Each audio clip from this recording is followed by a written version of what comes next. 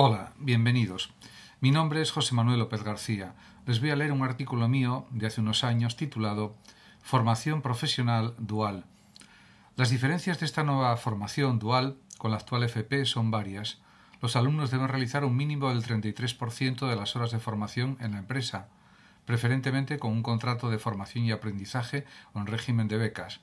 Y existen otras dos diferencias, ya que se ha creado en la FP Dual la figura del instructor que supervisa y desarrolla la formación del estudiante en la empresa, y un tutor específico que no lo es del módulo profesional de formación en los centros de trabajo.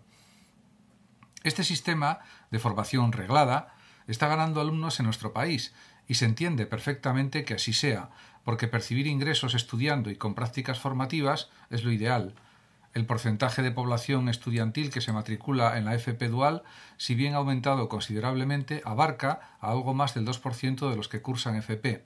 En 2014, los matriculados en este aprendizaje dual son 18.000 estudiantes. Son cifras que están lejos de lo que sucede en Alemania, ya que el 60% de los alumnos escogen la formación profesional dual.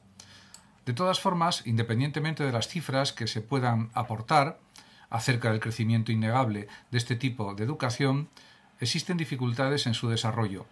Un primer problema que está siendo señalado por los expertos y especialistas es la descoordinación, puesto que parece que habría que homogeneizar más la oferta formativa para lograr que en todas las comunidades autónomas cualquier alumno pueda optar por la formación dual específica que desea, etc. Un segundo problema, y no el menor a mi juicio, es que los estudiantes no deben servir de mano de obra barata para las empresas. Su remuneración debe ser más elevada en relación con las horas de prácticas realizadas y con un precio de la hora digno y parecido al de los trabajadores que no son aprendices. Indudablemente la FP Dual puede irse mejorando paulatinamente para dar respuestas adecuadas a los deseos de formación y aprendizaje de la juventud. En Alemania, por ejemplo, el 61% de los aprendices lograron un puesto de trabajo al terminar su FP. En España los datos todavía no son tan positivos. Es natural que la Organización Internacional del Trabajo afirme que este tipo de formación dual ayuda a bajar los niveles de desempleo, dotando a los jóvenes de habilidades que son necesarias en el mercado laboral actual. Las pymes y las grandes empresas también deberían implicarse más a fondo para desarrollar mucho más la formación con aprendices, porque es uno de los retos del presente y del futuro.